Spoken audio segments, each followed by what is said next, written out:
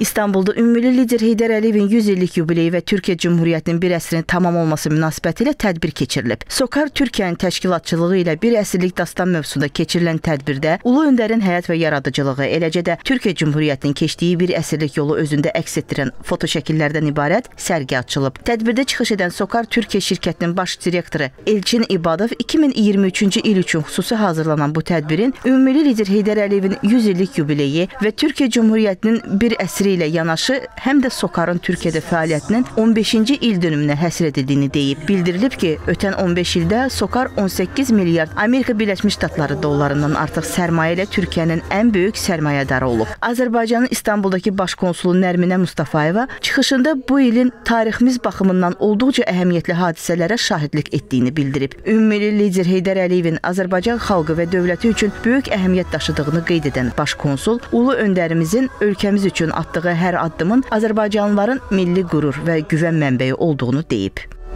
Aylardır könül